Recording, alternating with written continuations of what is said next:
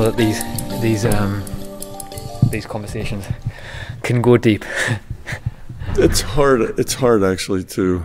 I guess I'll just practice holding it up like this. Yeah. It's hard actually to um, talk about these subjects in just an hour. Yeah, well, yeah, you definitely. only scratch the surface in about an hour. Yeah, definitely. And that's why, as well, with some of the things that I've, because like I said earlier, we I had you on the podcast last time when we last previous had the conversation. We I remember in that conversation we talked about what happens after we die. We talked about the larger picture of consciousness and everything.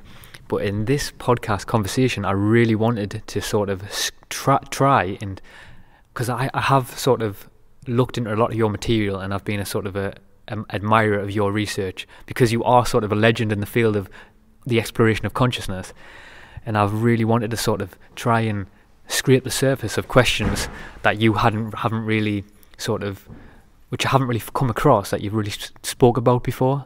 So I want to try and scrape the surface a bit more. Um, but just to start this as well which is interesting because it was I think it was uh, two years ago we last had you on the podcast where we were just doing Skype conversations, and um, I can remember then when you were talking and bringing these theories of consciousness and talking about the simulation theory. These conversations weren't really happening in the mainstream. I mean, and now looking around, we have people like Elon Musk, we have uh, top physicists around the world, we have TED talks. People all over the world now are actually are now comprehending that your theories, what you talked about and many others talked about for a long time, that this very much could be a possibility. But what's interest, interesting to me is is a lot of people are going there, but they're not willing to ask the bigger questions behind that. And the questions like, who, okay, if this is a simulation, who is the programmer? Who programmed it? Why do you think people are not willing to engage in that part of the conversation yet? Okay, because every you know everyone here, I should say everyone, but most people here grow up with a belief in materialism. I don't mean that in any philosophical sense, but they just grow up understanding that this is a physical world and there's physical causality, and that's the only thing they know. So I call that a cultural belief. That's a belief you get just because it's part of your culture, it's part of your experience. So when you uh, get to the point of realizing that this is a virtual reality, and many scientists have come to that conclusion, I'd say it's about time. Uh, you know, quantum mechanics, the very begin, beginnings of it started around an experiment called the double slit experiment. And that experiment very clearly says this is not a physical reality. It's not, it's, it's not matter based because that experiment just defies um, all the things that a, experiment would have to be in order to be have a physical causality. There is no physical causality. So that was in the early 1900s, like 1915 to 1925, and in that era. So it's been almost 100 years that scientists have known that this isn't a physical reality. It's a probabilistic reality. Particles aren't really particles. They're only potential particles until the measurement is made. So that's been around, but physicists just didn't know what to do with that.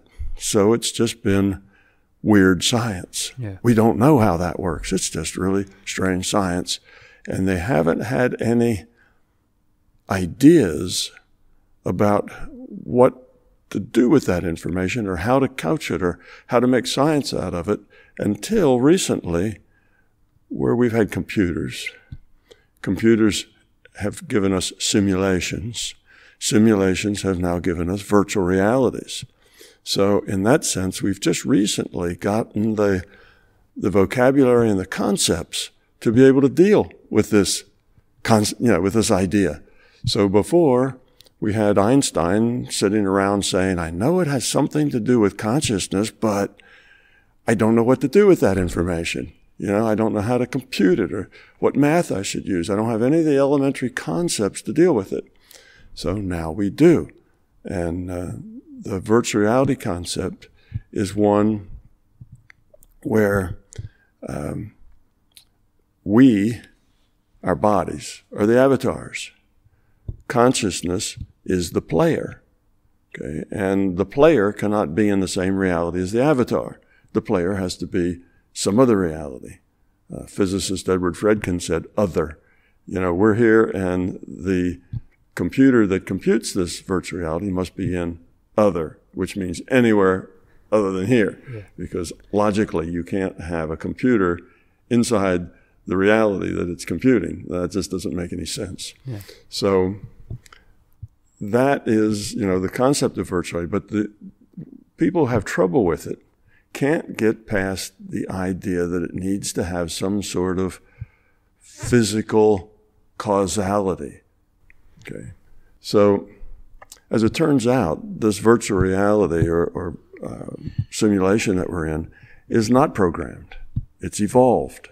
It started with uh, initial conditions and a rule set, and it's just evolved. So there is no programmer that programmed it like our virtual realities are programmed. World of Warcraft, every tree, every rock, every monster, everything is programmed.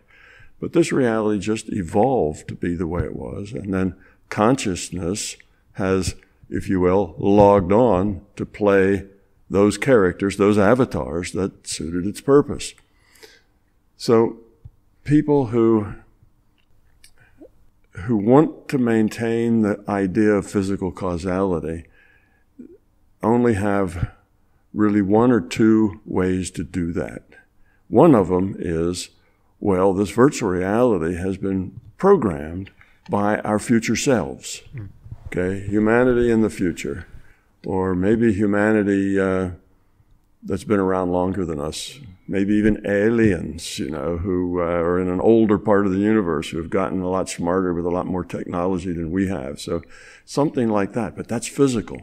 You see, it's just another part of the physical paradigm. And now it's creating us, which is another part of their physical paradigm.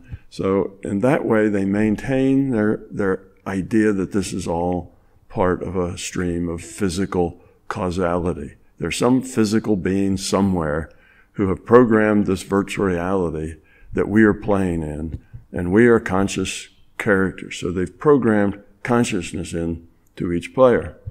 Well, that has a lot of things that are just hard to explain. One is how do you program consciousness into a player? That's called the hard problem. Yeah. And scientists have been working on that issue for a long, long time and with no progress whatsoever. There is no uh, idea just yet about how that could possibly come about.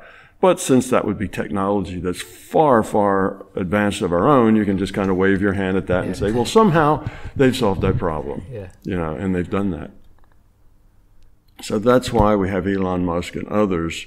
Uh, it started with a, an Englishman, um, Nick Bostrom. Yeah, Nick Bostrom started that um, probably early 2000s, you know, 2001 or two, somewhere in that neighborhood, just a little bit before I published my books, you know, and uh, he had that same, you know, he got to that same issue.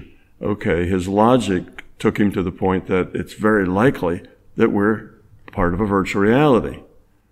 And then, well, who's the programmer? well, who could it be? You know, aliens just sounds too woo woo. Nobody's going to believe that, right? That's kind of silly. So our future selves, well, that's you know that's a little hard to believe as well. But Elon Musk picked up Nick Bostrom's viewpoint and has made it popular. Right now, if you tell somebody that we're that we are a virtual reality and that this body of ours is just an avatar and that this table doesn't really exist, they'll go nonsense. Yeah. That's silly. Of course it exists. This couldn't be a virtual reality. It's too real for that. But two decades from now, that's not going to be such a hard thing to come to terms with. Now it seems ridiculous, just wild uh, conceptually. But the tools are coming for us to experience virtual reality. Yeah. Not quite as fine as this one, but enough that when you put on that headgear and you get on that platform that moves and shakes and tilts and does all those other things, it's really hard to tell that you're not in a physical reality. Yeah. It is really, really real feeling. And it's easy then to kind of see that this could be real feeling and still be a virtual reality. So, though it's a tough sell right now, I think it'll be a real easy sell in the near future. People will say, virtual reality? Yeah, makes sense. This Yeah. could be a virtual reality. Yeah, definitely. So we're getting to that point where we don't have to come up with physical excuses. We can just say, we're consciousness and we are playing an avatar. We make all the choices for that avatar. And there's a purpose for that. We have a purpose for being here. And the purpose is we make choices. And by those choices, we evolve or de-evolve the quality of our consciousness. So we've, this is a virtual reality game and there is a way to win it and a way to lose it. You see? So that all kind of pulls together. Then consciousness is something outside of this physical reality, non-physical to us. And that's who we really are. We're not the body. We're the consciousness making the choices. Just like you might be the player in a Sims game, Yeah. and you, as a player in a Sims game, make all the choices for your Sims character. It's a similar sort of thing. Yeah. So just just to jump in as well. So like you said before, your theory is that consciousness is constantly evolving. A question that I've I've asked myself on many different times is is are we part of a larger consciousness like you Tom Campbell me Dan Harrison are we of the same thing the same consciousness or do we in this simulation do we have our own individual consciousnesses Well, all of the above. Oh. Okay, yes, we are a part of it. Uh, what I call the larger consciousness system is the source, and we're a piece of that. We're a piece of that system. And as we evolve the quality of our individual consciousness, because our individual consciousness is a part of this larger consciousness, we help the larger system evolve as well. So one way of looking at it is we are the larger conscious system strategy for evolving because we're, we're it, it's us. On the other hand, we also are individual in the sense that, you know, you are Dan, I am Tom, Yeah. and we have our own history that's very different. We have a unique set of experiences. And that unique set of experiences is captured in information. Consciousness is just an information system. So our uniqueness is, comp- is captured in the information of the system of which we're part. So yes, we are part of the whole. We're also individual, just like our body. Okay. I've got a, a left arm, and a right arm, you know, I got pieces. And in a way, they do their own thing. You know, they type, they reach out, they grab things or whatever, and they don't particularly communicate with my toes, you know, or with my insides or anything else. they do their own sort of thing. They've got their own mission, right? Which is to get hold of things, be able to manipulate things in this environment. So that's what they do. But they're still part of something bigger because this arm just doesn't exist by itself. It's just an arm by itself doesn't can't do anything useful. It only is is you know it only can fulfill its purpose as being a part of a whole. Yeah. So we're kind of the same thing. We're a piece of this system, but we're still individual. The arm is still an arm. It's not the whole. It's just a part of the whole. But yet it's a part of the thing we call a human being. Yeah. I love that, by the way. And another question I really wanted to ask you as well, and like you said before, that one of your theories is that consciousness has sort of created this realm for its own discovery, uh, for discovery of consciousness. Um, if that is the case, and consciousness has created a realm to evolve its own self, a question I had on top of that was, why do you think we, within that being said, why do we still have the ability to sort of transcend our own individual consciousnesses in other realms? So things like the out of body experience, which I know you experienced, lucid dream realms, even people talk about psychedelics as well. So why do you think we have the ability within this simulation to actually transcend our consciousness in other realms? Okay. Because we are conscious. And that's why everyone, know, everyone is a consciousness. And we're all playing avatars here. But because we're conscious, we can explore all that is consciousness. We have all the abilities and all of the connections to explore all of consciousness because that's what we are. So we are logged on to this avatar and we're logged on in such a way that we only bring our quality of consciousness to that new avatar. So because we don't bring any intellectual component with us, we just bring our quality of consciousness, that avatar's experience is the only experience that we can remember. It's the only experience we think we have. So we identify as the avatar. We think we are the avatar, but we're not. We're really consciousness.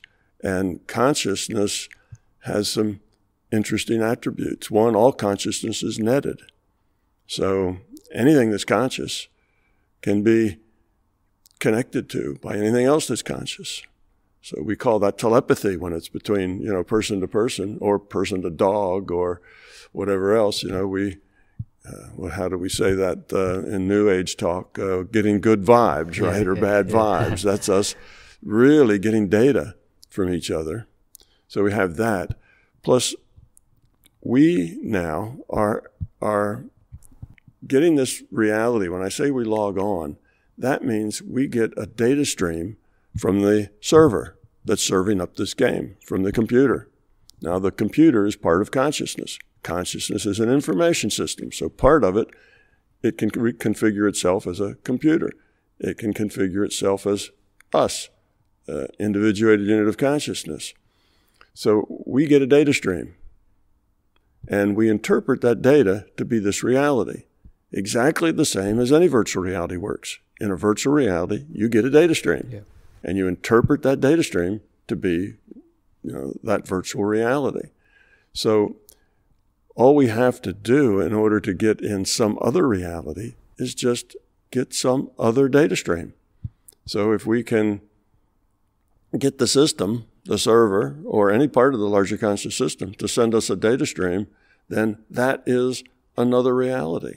When we dream, we just get a different data stream that we can interpret differently because the rule set in a dream world is a lot softer rule sets, got a lot, you know, there's a lot uh, fewer constraints.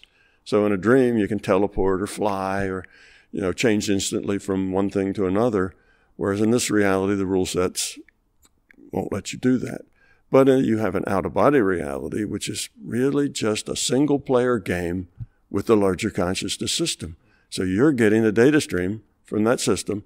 That system sends you that data stream in order to help you see a bigger picture. It's a growing thing, just like the dreams. We grow, we, we get valuable choices in a dream, and we get valuable choices in an out of body state. But because those environments are different, and those rule sets are different, there's a whole different set of choices we have there. So in a dream state, you have a lot of things happening to you that won't happen to you here, you know, and that gives you choices that you don't have here. So it's another learning place to make choices and evolve or de-evolve. And the out-of-body state's like that too. It's another virtual reality that allows us to make choices and by those choices evolve or de-evolve. So it's just another reality frame. And there's lots of those virtual reality frames for we individuated units of consciousness to explore and partake of. There's other games out there that we can log on to. So it's just a wider range of experience for us to grow up with.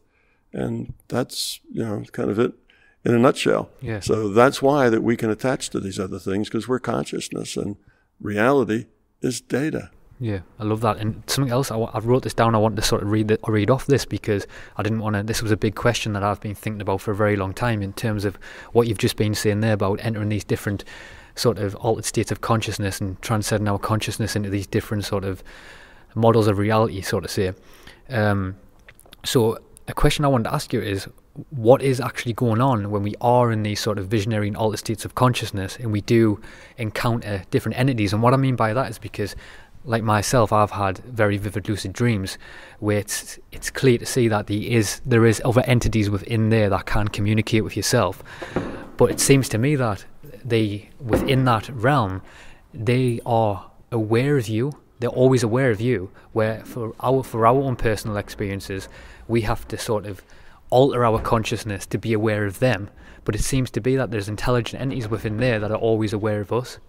Well, that's because when you're in those other realities, other than this one, getting a data stream from, uh, or getting a data stream that is different than defining this virtual reality, the the computer, let us say it's the computer, the larger conscious system, is sending you data. Okay, well, it's aware of you, and it can play all sorts of parts. The data that it sends you could have ten different characters in it the data that it's sending you is really about you and your experience, your growth, your learning, and opening your mind to bigger things. So it can play any number of characters. In virtual reality gaming, we call those NPCs, non player characters. It's something the computer just generates. Well, a non player character isn't really much different than a player. It's just it's it's played by the computer, if you will, rather than some individuated unit of consciousness.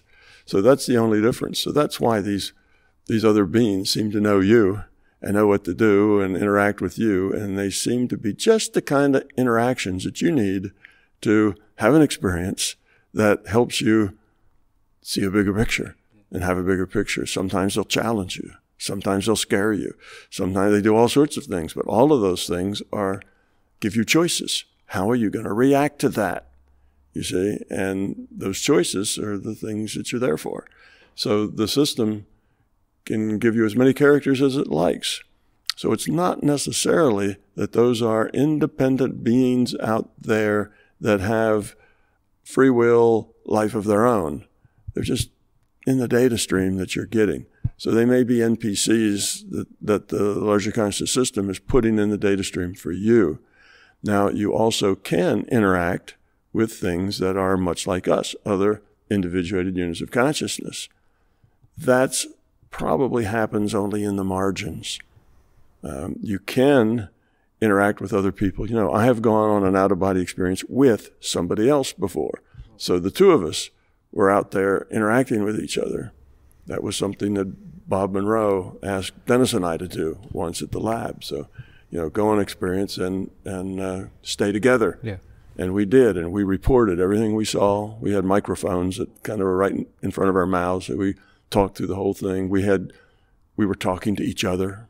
Um, we were pointing out that we had a lot of varied things we experienced then, and it was obvious that we were together seeing the same things, experiencing the same things, that we were having conversations. Of course, we were isolated from each other. You know, he was in one booth and I was in another, and these booths were acoustically isolated, and they were probably about, I don't know, 30 feet apart, separate rooms, uh, electromagnetically shielded and acoustically isolated from each other. So you can do that with another IUOC, but most of the time you're getting a data stream just out of the larger consciousness system for your own growth. And most of the characters you'll see will be NPCs. Now, that doesn't mean that it has to be simple. Those, those NPCs and that story that you're getting in that out of body, you may go back to that 50 times, 100 times, and the story may evolve. It goes from this to that to the next thing and it can be a, a lengthy story. You know, you can it can be a book sort of thing, not just a, a one-off occurrence.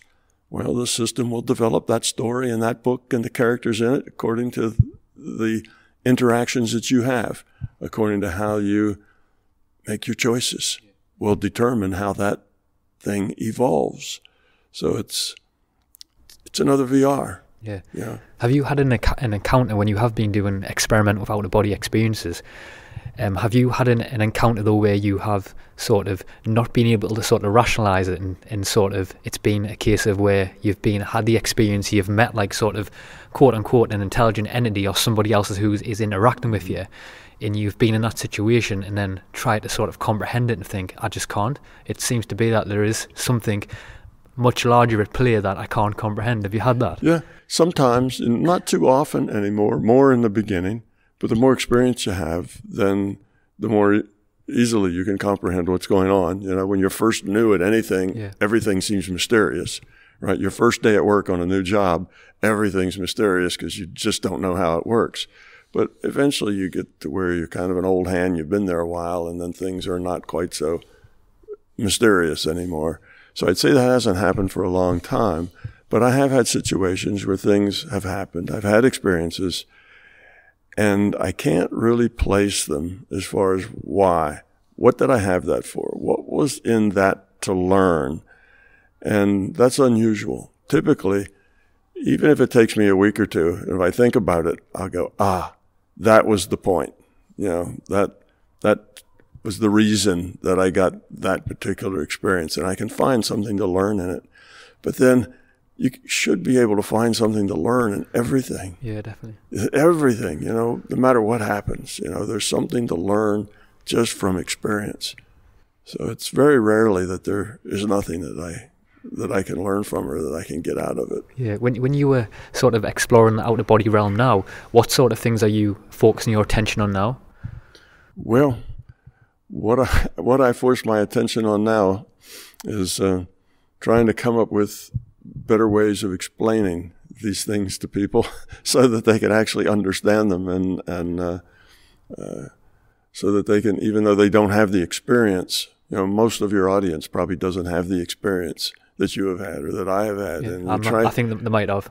you, you, you try to explain to them and it's very difficult Yeah. if they haven't had the experience so I try to come up with better ways of communicating that um, now my life is a little different than it was. It used to be that, you know, I was me, and then there was this other reality. So I lived in this, what we call the physical reality, the physical universe, and then I would have experiences outside of it.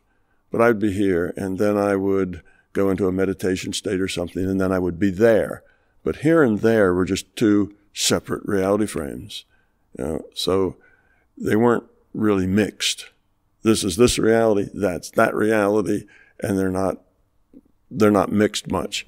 But then over the years, that's kind of gone away, and now I just live in a reality that is that is mixed. That's part of all of that, and I think that's probably the way it goes in time. If you keep going down this path, you end up living in a larger reality. You have a larger decision space. You interact with people differently. Another way of saying that is that I don't meditate anymore. My life's become a meditation. Wow, I like that. So I'm I probably stay in that theta state most of the time. And when I talk to people, I'm constantly gathering information from other sources, uh, picking up connections and things that aren't here physically. Um, when you meet someone, you have a sense for where they are, where they're coming from, what their reality looks like, so that you can communicate in a way that's meaningful to them. Because mm. if you don't share anything with them, then it's really hard to say something that they can take away, you know, that's useful. So you get that, you know, you might think on a side channel, but it's really just the whole thing. So I get the physical reality, but I get a little, a lot of data coming from the non-physical at the same time, and that's just my everyday space. So it's a, it's a little different. I guess sometimes it makes me a little absent-minded here because you can, you can only spread yourself but so thin. You know, if you're not focused in this reality, in, but maybe 10 or 20 percent, then you're kind of spacey here. You're not real. Um, I don't know. You're not real plugged in. Yeah. You're just partly plugged in. So you can juggle realities, but you've only got one, you've got 100%, but you could have 10% in this reality, 10% in that reality, you know, 30% in another reality, and then 50%, 50% in some other reality. And then you can do that if you can do, what was that, five things in parallel. That's a little difficult to run five things in parallel, but it isn't that hard to run two or three. That's pretty easy. So if you were to come to me and say, Tom, uh, my Aunt Susie uh, just fell down the steps and is really hurting. Could you tell me how bad is it? What's the prognosis? And could you help her out a little bit? From when you first said my Aunt Susie fell down the steps, I would be getting data about Aunt Susie and about her fall and what she hurt and how bad was it, what the prognosis was, and be giving her some healing while you were telling me the story because you can just parallel process those things. Wow. So you meet somebody new for the first time, you can get a sense of their feeling. You know, empaths do that all the time. They pick up other people's feelings. But this is a little more well-rounded in that. You pick up their feelings, you pick up kind of what their thoughts, you pick up on what their interests are, what they would like to get out of the conversation, how they're feeling. And that means you can then communicate with them and offer them information that's useful rather than just information that you know. And you're just saying, well, I don't know where you are, but here's where I am. So, you know, you download stuff to people and mostly people can't use that or a lot of it they can't use. It just kind of brushes right by because they can only connect to what they know with their experience. So I don't really go out of body or meditate or do those things. I just live in that space where it's automatic. So I don't, it's not that I say, oh, I want to get data about this person and their feelings. It just is there when I need it. So it's no longer a this space, that space. It's all just one whole organic thing that is the way it is. So you just live in a little bigger reality system than if it was just physical. Wow. That's such a multi layered um, answer, by the way. And even when you were sort of transcending that across to me there, there was, because sometimes when we have these conversations with different people, there's a part of me with inside myself that within a conversation itself, it's sometimes hard to really comprehend what somebody's saying. Somebody sometimes somebody has to go back to a, a conversation multiple times because mm-hmm. conversations and words and languages are very multi-layered within every single thing that someone right. says. But for some reason, when you were telling me that there, I really got this unexplainable sense within me gut. I can't explain it, but it was like an overwhelming sense, which will be interesting when I listen back to this podcast to see how I interpret interpret it then. But it just felt to me that you were sort of even when you were in seeing that, people say certain things, but you weren't just seeing it, you were completely embodying the whole sense of what that is. It, it, I don't know if you hate, I don't really, I don't know if you understand that what I mean, but I just, I just felt, I just got this unbelievable whelming sense when you were transcending it. And just to change direction a little bit, a question that I wanted to ask you was on the sense of deja vu, because I've heard many rumors and I've, I, have myself in my own life, I have very a lot of encounters of deja vu, and as I've got a little bit older, they have sort of stopped as much. But in relation to, the, to your theories and consciousness and mm-hmm. the simulation theory, have you questioned deja vu and what that could be? Sure, and there's several things that it could be. It's not, you know, the reality is is broad and deep and very complicated from the viewpoint of a person that is kind of stuck in physical reality. It's not really all that complicated otherwise, but there's there's lots of different reasons why you might have deja vu. One of them may be that you well, let me back up a little. The way we function with our minds is that we work with pattern recognition. So we look at something and we take that data and we check it against our history, all the patterns of things we've ever seen before. And when it's something that's familiar, like the face of your mother, you know, well, you recognize it exactly because that's a pattern you really know well.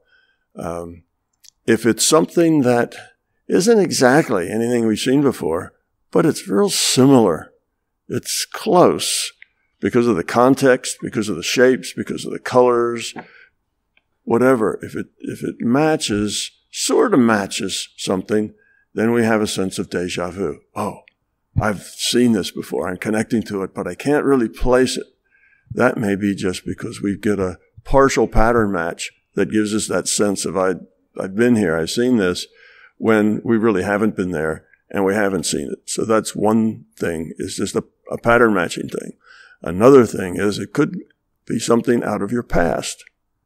Could be something that goes back to other times, other lifetimes, and something that was very significant to you. Some place that, that just kind of resonates with you. It could be something like that, but that's less likely. Um, it could be something out of your future. It could be resonating with some probable future. So see, we have this probable future not a done deal. It's just probable. And we have the past. And both of those are accessible to us as information. And we are, like I say, we're netted too. So all of that information. So we are actually processing all this information all the time. We're processing future probability. We're processing past. Uh, and we're, we're interacting with each other. We're just not doing it at the intellectual level. That just all happens at a, at a deeper level than what we're aware of. Well, so it could be something out of the past, could be something out of the future that partially connects with a pattern, with something that's significant to us. So it could be any of those things. Um,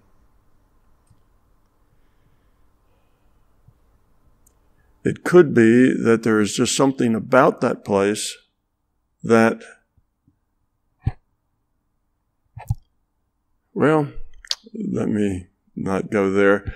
It could be that the experience of deja vu, particularly if it's a very strong deja vu, is just an eye opener. It's just something that helps you wonder about whether there isn't more to this reality than just the physical. And the system does that a lot. It gives people kind of glimpses or experiences of a larger reality just to open their minds to the possibility. Um, you know, if you if you get a thousand people together and you ask each one of them, has anything ever happened to you that was unexplainable? You know, something paranormal? Did you just get a message telepathically? Uh, you know, did you know when your children were having a problem? You know, a lot of ladies are very attached to their children psychically, so they know when Junior just fell down and got hurt immediately. So you ask people that, and it finds out, it turns out about 75 to 85% say yes. So lots of people, not just a few, but lots of people have had these experiences of having their eyes open to a larger reality. And deja vu might just be one of those. So it could be that the system is just giving you something, giving you that sense of having been there before, seen that before, that uh, just open your mind or it may be somebody that uh, you particularly relate to, some some event, some person even. Yeah. Sometimes you meet a person and it's like you've known them all your life. Mm. You just that they just feel that easy and that connected to them.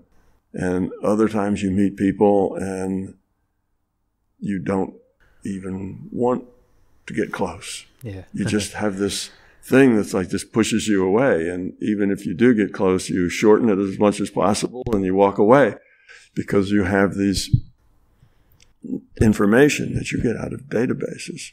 So that's not all, all of that wouldn't be called deja vu, but it's a very similar sort of thing. Yeah, all tied. So, and it could be any one of those things that gives you that that feeling. It's interesting because I really resonated with you when you said about how the universe or whatever you want to call it, whatever name you want to put on it, gives you these sort of these moments where, like you said, it it's it's weird because I get these things where the universe sort of plays these trickster aspects as well. It was like even the sense of just to quickly go in, just to quickly touch on it, even the the the synchronicity of how we, me and you, had this conversation right now. The universe plays these little trickster aspects, and one of them was that I actually had a I was actually had a flight to go somewhere else and um, for some reason or not, something told me, I can't even remember why, to check out your page to see where you are going to be, if you had any events coming up. And within a few days later, you were here at Lumley Castle, very close to my house.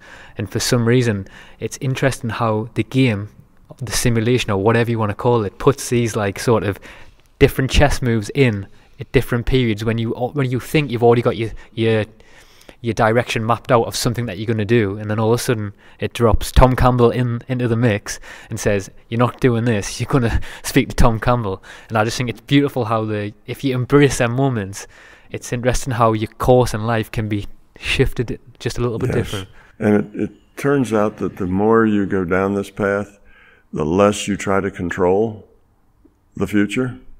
Many people are locked in this struggle with the future. Yeah. They want things to come out the way they want them. They want people to be the way they need them to be, you know, and they try to manipulate and change and arrange to have things come out the way they want to have it.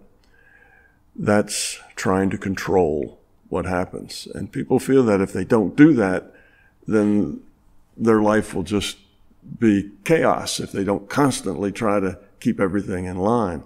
But as it turns out, just the opposite happens. When you give up trying to manipulate the future to be the way you want it, you find that everything that you need falls right at your feet just as you need it.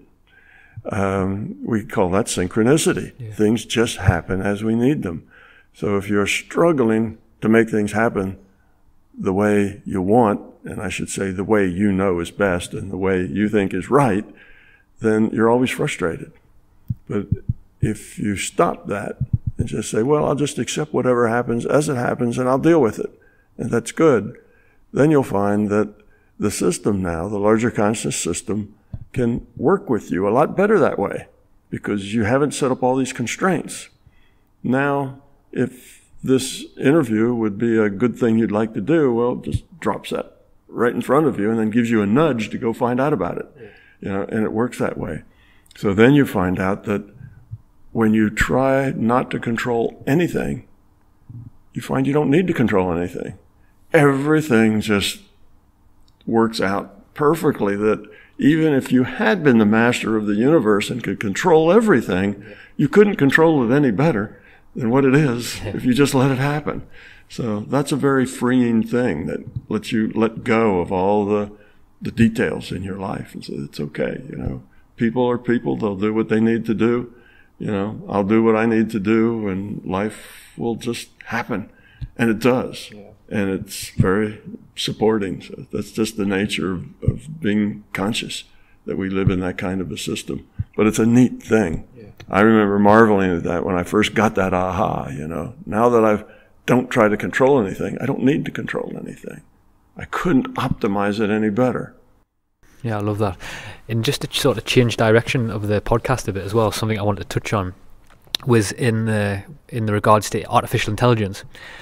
Do you think in the future that it because technology now people are talking about how they are creating these artificial intelligence all over the world do you think it'll be possible to actually evolve consciousness within inside artificial intelligence? Yes. Absolutely and it won't be all that long. And we've already done it to a very small degree. We already have been able to capture say the, the level of consciousness of you know say an insect something like that and I say that by the definition that if something makes a free will choice, if it makes a choice because it decides that's what it wants to do, then that thing is conscious. That's what in my book defines what's conscious and what's not. So a rock doesn't make choices. It doesn't choose to roll downhill. It rolls downhill because of something else, a force outside of itself. Um, a computer generally doesn't make any choices because it's programmed and it can only follow its programming. So that's algorithmic choices. It makes choices okay, but it only does that according to its algorithms, not according to its free will. But if we can make a computer that has free will choices, and by that, it would have to make choices beyond an algorithm, beyond programming. And we can do that. We use neural networks and other such things to allow computers to learn. And we have no idea why they make the choices they make because that, that neural net is kind of self-changing. As it learns, as it has experience, it modifies its own programming. It changes little constants and numbers inside the computer. So eventually, it's something that we really don't understand and don't know exactly why it does what it does, but it seems to get better at it with experience. So that would begin to define a, a free will in that it can make choices that are non-algorithmic. Once you have that, and we already have that at, at simple degrees, then once those choices become interesting to an individuated unit of consciousness, well, that individuated unit of consciousness can log on and play that computer as an avatar you see, then that computer is conscious just like we're conscious.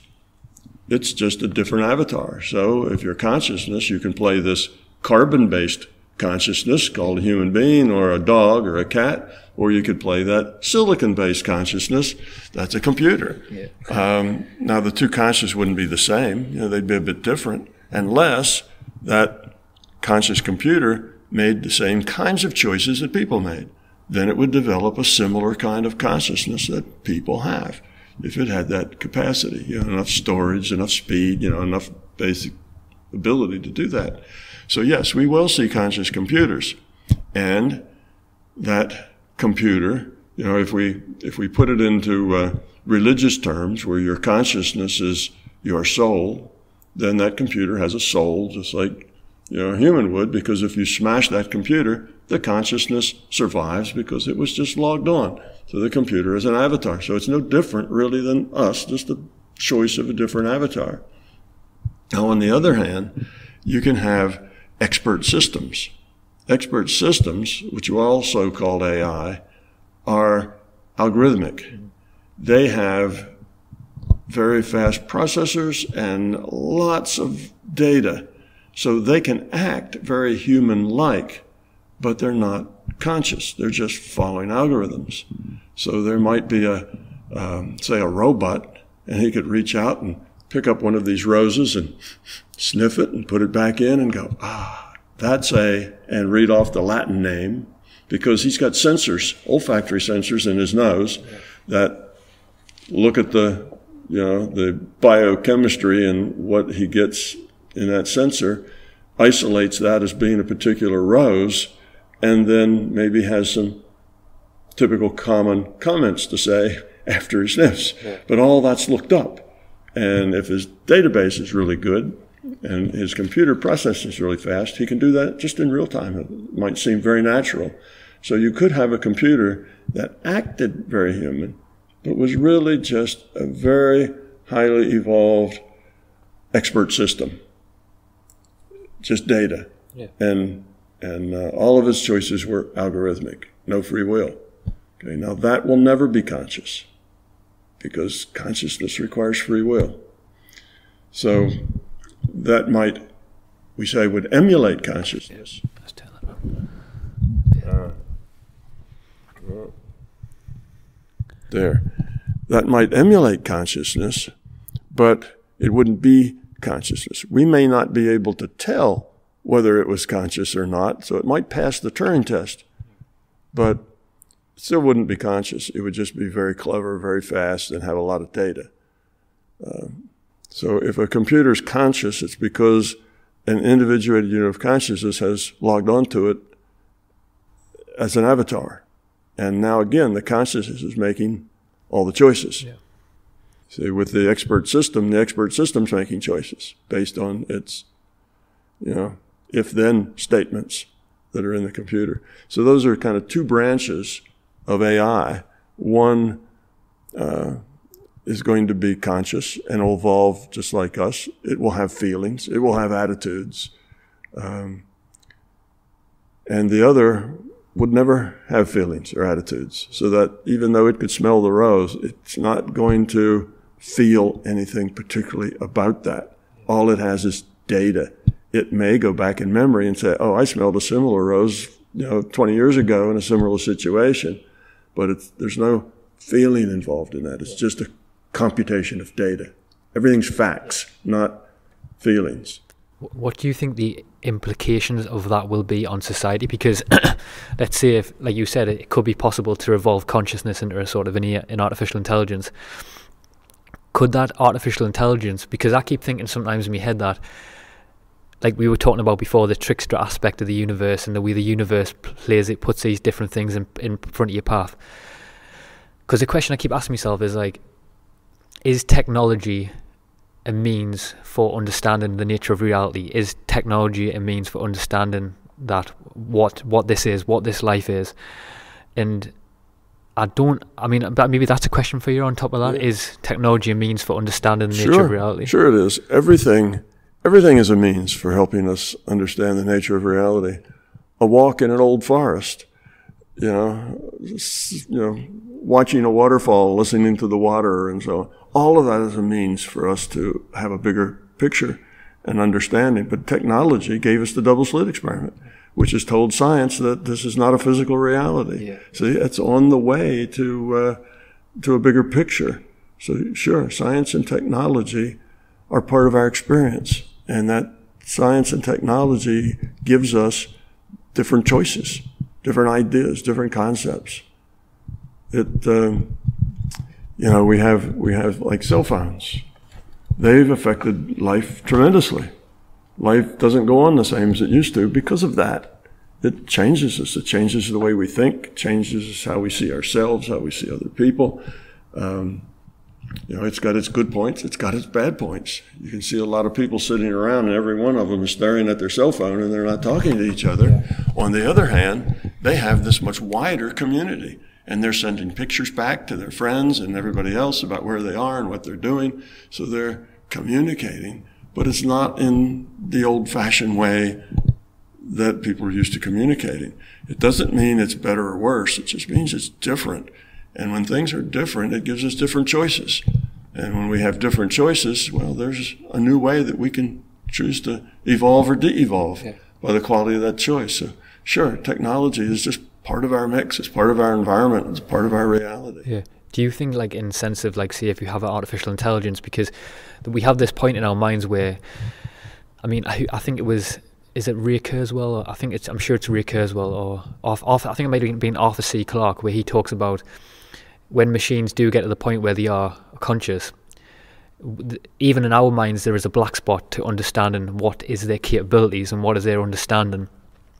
And I think sometimes when we think about artificial intelligence, we always use our we use our own human sort of um, Sure. uh, abilities to think of the bigger questions of the even in terms of the nature of reality. But I keep thinking, what could be the possibilities of an uh, artificial intelligence that is highly more intelligent than us, and we can't even comprehend? What Sure. would what could they un- uncover? Yeah, that's possible. Yeah. And the reason is that what our biology does is sets constraints on what the consciousness can do with this avatar. See, that's the biology represents the rule set. I said this reality evolved, it didn't get programmed. Well, that evolution, that rule set with those initial conditions ended up evolving all of this. And our biology is a result of that evolution. So it represents the rule set. It represents the possibilities that the rule set allows. Okay. But there are constraints there too. There's only so much we can do. You know, we can't jump 10 feet in the air. We can't learn, you know, arithmetic and then algebra and then, you know, uh, calculus and then differential equations all in an afternoon. We can't process that much. We can't, we can't synthesize those ideas that quickly. It takes time to get our, those kind of concepts to where we understand them. We just can't do it. We're not, we have limitations based upon our biology, based upon the rule set.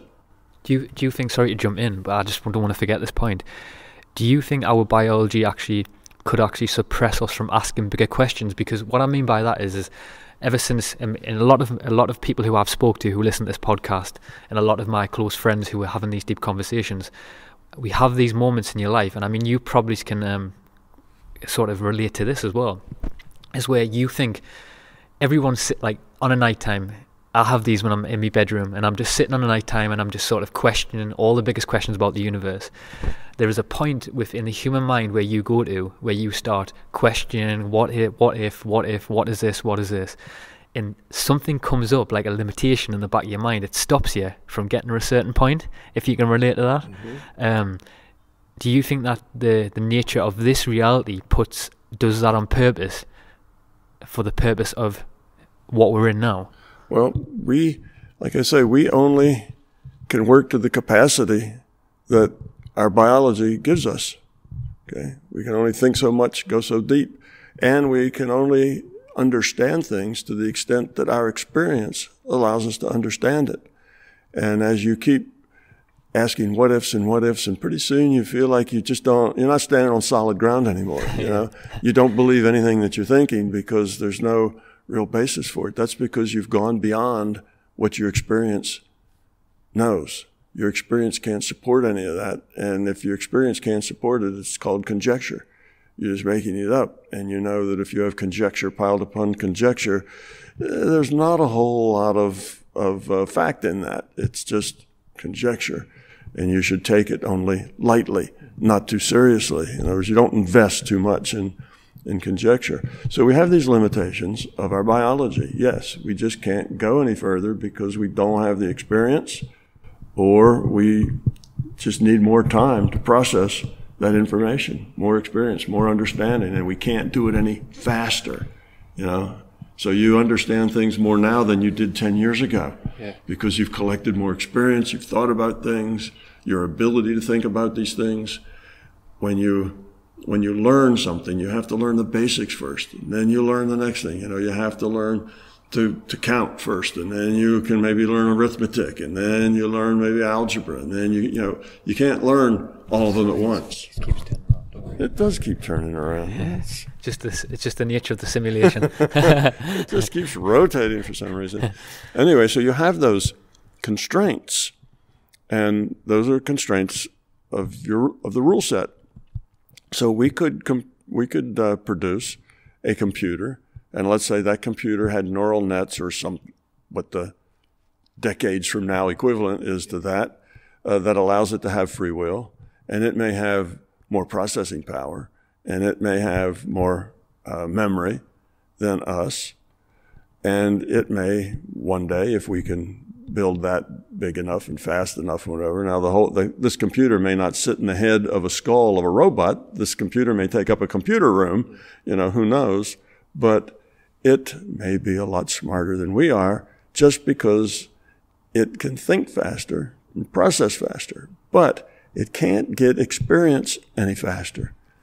Experiences, you got to experience it right? And somebody else's experience, even if they describe it to you, is not your experience. And you can read all the books that all sorts of things that people experience, and you get that as knowledge, facts that other people had it, but it is not the same as you experience it. If, if it's not your experience, it's not your truth. Yeah. If it's somebody else's experience, it's their truth. You may know about it, but it's not your truth. So this computer is only going to experience things as it experiences things. we need some microphone stands. Yeah, we need a microphone stabilizer. We used to have them microphone stands, but uh, what what happened was is they were sort of they were just too close on people's faces, and no one could see the see yeah. the ca- camera angle. So anyway, that's the that will be the weak spot. Yes, it can process faster, it can remember more, it can count a whole lot faster, but it's not going to have experience.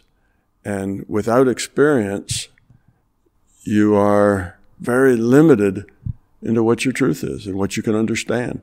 You have to have some experience, which is one of the reasons I tell people in my books don't believe anything I say. You have to go experience it because if you don't experience it, it's not your truth. It'll just be a somebody else's idea, somebody else's theory. Now you can decide to believe it or not believe it, but neither one of those hold any power for you. That doesn't give you any knowledge. So belief is not a good thing. You just have to say, well, I don't know, so let me try to get some of that experience, you know. Let me try to find out. So the, the computer will have a capacity perhaps to process more than we can process and to do that faster but how is it going to get experience? Well, it depends on the kind of experience we're talking about. Let's say we have this, this uh, conscious computer, and what it's doing is um, monitoring and optimizing the electrical grid as well as the as well as the uh, say all the communications going on okay so it may be doing hundreds of thousands, millions of things. And its experience would be the choices it has to make to keep the electrical grid, say, you know, in the whole country, say in the United States, you know, it needs to keep that electrical grid optimized for everybody. And that would take lots and lots of choices and very, very fast. So we would have deep experience in electrical grids and perhaps communications and, and uh, optimizing the use of satellites and uplinks and downlinks and all that sort of thing, and would make our world much more efficient. But what is that computer going to know about love? What is that computer going to know about caring and friendship? And they're the questions. Not by doing that, you see. Well, if that's a conscious computer, it needs to talk to people. It needs to interact. It needs to get personal. It needs to, you know, have friends. Yeah. And then it would learn those kinds of things. But in our reality, that's going to be a little difficult for it. You see, nobody wants to sit and hold hands over coffee, you know, with a computer. So some people might. some people might, right? But that's going to be a little a little difficult. So it's going to be very limited in how it can develop in certain areas. So it may always just be something that is really good at managing lots of facts and stuff, yeah. But never really very good at holding a conversation yeah. or caring about somebody else, but it doesn't mean it doesn't have that capacity. Keeps turning on. Don't worry. it's to the microphones. It does. It has just it's just it's a stern microphone, right? I think I think next time what I'm going to do for the conversation is I'm going to get a new microphone stand here so that the so that we don't no one has to touch them. They just don't have to worry about them. Yeah. But something else I quickly want to touch on with you as well was um, Elon, Elon Musk is um, when more people have been talking about the theory of the simulation theory and people's mm-hmm. been coming out and saying that it is possible, we had a few, there was a, a lot of uh, tension on people like Elon Musk and other people were coming forward and saying that now we know it's a simulation, we're going to try and figure out how we can get out of the simulation. I don't know if you heard statements like that. Mm-hmm. Um, is it, could it be possible to do that? And is it possible to actually change the rule set? It's not very likely you're going to change the rule set. The rule set is what evolved to, to give us this, this physical universe, which is a virtual reality. You're not going to change that because that is necessary for this reality to exist. So you're not going to do much with that. Now you can bend the rules some, perhaps. You can perhaps make some new rules that you could add to it.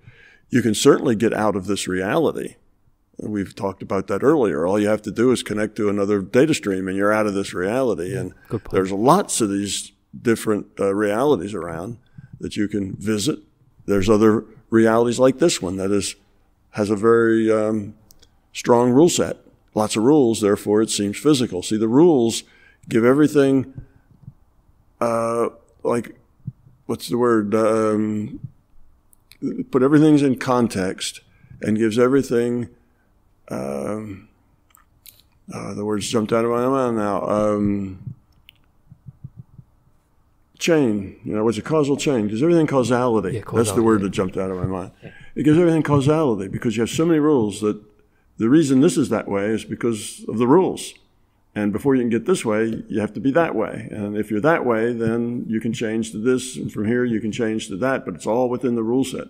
So the rule sets define causality. So if you have a real tight rule set, then you have a real tight causality, and that's what we call a physical place. Yeah. But there's dozens of these. This one that we live in, that we call our physical universe, that's just one. So yeah, there's lots of other realities you can go play in if you want to call that hacking the system or giving it out of it.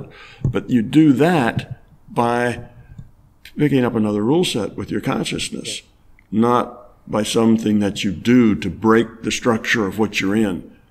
See, that only is a concept if you believe this is all physical based. If you think it's all physical based, then somehow you have to get out into the network. But you're already in that network. Your consciousness. Yeah. You are the network. Yeah. You see? Well, maybe we should use tape. So I'm just yeah. tape this to my hand. Uh, you are the network. Yeah. Your consciousness. Consciousness is the computer. You have access to the computer. You don't have to hack it. You're already there. So in that sense, yes, you can get out of here and, and do other things, but only as consciousness and only within the larger consciousness system. There's no need to hack it. You're not trapped in this. You just logged onto this and it's the only experience that you're aware of. Therefore, you identify as being in there, but you're not trapped in it at all. You're not in it. It's a virtual reality. So that's sort of the answer to that. They just don't understand what virt- what it, what it means to be a virtual reality. They don't understand the consciousness connection. They keep it at a it's all physical. Therefore, they have to physically do something to you know break into the system. They're already they're already not here. They just believe they're here. They're really consciousness. I love that. Would you do you just to bring sort of one more question I want to ask you because obviously I want to respect the time as well. But just the last question I want to sort of uh, bring to you was, would you are you would you say you're at a point in your life now where you have the whole sort of map of reality sort of mapped out in your own mind? And if not, what other questions are you sort of asking yourself now in your life? Yeah. Well, I started the the book, My Big TOE, three books there, and I, I started those in 2003 in February. So it's just in the very beginning of 2003. Since then, I've learned all sorts of things. Actually, those two books had been out for a year or two before I realized that the same concepts that explain consciousness, because they really get, were a model of consciousness, uh, before I, I realized that uh, they also explain physics and uh, I could derive physics from consciousness, which I knew should have been able to be done, but I really didn't know how to approach it, how to do that. And then I could understand quantum mechanics, understand relativity from that viewpoint of virtual reality and things that are paradoxes now. to physicists, they just don't get them. They don't understand them. Like, why is the speed of light a constant? Why should particles be probability distributions? All become real, logical, rational ideas when you see it from a virtual reality perspective. So then science kind of came into it. And then I started looking for paradoxes in other fields, and those kind of fell out too. A lot of things that um, you know theologians study. You know, what's the what's the big picture, and then all that stuff kind of falls out of it as well. So I've been in the process of looking for things that don't fit the theory. In other words, if there's something that's out there that's fundamentally a part of somebody's experience, somewhere that they can go or be, or or even in their own mind, uh, something that is that is subjective that they've experienced, and it doesn't fit the model, then I'm interested in that. I'm looking for things that don't fit. And when they don't fit, then I'll try to fit them and say, well, can my model explain this? And if I can't, then that means my model is not complete. So I need to change it or adjust it or expand it. And if it still doesn't work, I have to get rid of it and try something else. So models aren't done deals. Models are just a way of looking at the world. It's a way to interpret the data. It's a way to interpret your experience. So scientists do experiments and then they need a model to interpret that experiment. So far, the model has been materialism. And it's done a pretty good job until we got to quantum mechanics. And then it does a terrible job. It can't explain that. And it can't explain why C is a constant. There's a lot of things now, a lot of experiments that just can't be explained. And just writing it off as weird science is not you know, acceptable. You have to explain it. Well, virtual reality concepts do explain it. Those things just fall out as reasonable, logical things. It couldn't be any other way than they are from that viewpoint. So you want to look at the things that don't fit. And I've been doing that, um, well, since I wrote the books, basically looking for things that don't fit. And so far, all of them have fit all the things that people bring up. Sometimes people will send me stuff in emails and other, here's something that doesn't fit. And I'll look at it and I find that so far it does fit. Or I've expanded the model a little bit to cover this or to cover that. So yes, I'm constantly looking for things that don't fit. Yeah, I love that. Because that's how your model grows. You know, it's not like this is model and, you know, I, you know, I found it etched in stone next to a burning bush, you know, and it's the word of, you know, the maker or something. It isn't like that. It's just a model. And as long as it describes our experience, then it's a good model. Where it stops describing our experience, then it's not such a good model. So we, you know, need to do further work. So I don't think that, you know, my job's done with it. I've just taken it this far and maybe I'll expand it in the future more. I've been expanding it since it was published. You know, it's I've added a lot of the science to it, but I expect I'll expand it more in the future. And then it's just a model that's out there. Every, anybody else can take it up and expand it. You know, I've just kind of thrown it out and saying, hey, if this if this model if this model uh, works for you, if it explains your experience and explains your world, whether you're a scientist or or a theologian or you know a psychologist or whatever, then use it. And if it doesn't, well, let's make it better. Yeah, I love that. Well, that's probably a good place to end it as well. And thank you so much, honestly, Tom. Thank you so much for giving us your, giving us me, giving me your time. Honestly, it's an absolute pleasure to have a conversation with you. Yeah. Thank you so much. Except for this microphone. Yeah, except turning for, around in my hand. Except for the microphone. yeah, it's been good. I've enjoyed it too. I mean, the whole point is to help people understand a bigger picture, but it has to be their bigger picture. You know, if they believe my bigger picture That'll take them maybe a little bit of distance just because it's a model for them to hang their experience on. But it really has to be their model, it has to be their big toe, not just my big toe. And if, if it's a belief, that's not really helpful to them as individuals. So that's the point. It's why we do these talks, right? To yeah. help other people find their own bigger picture. That's the whole point of it.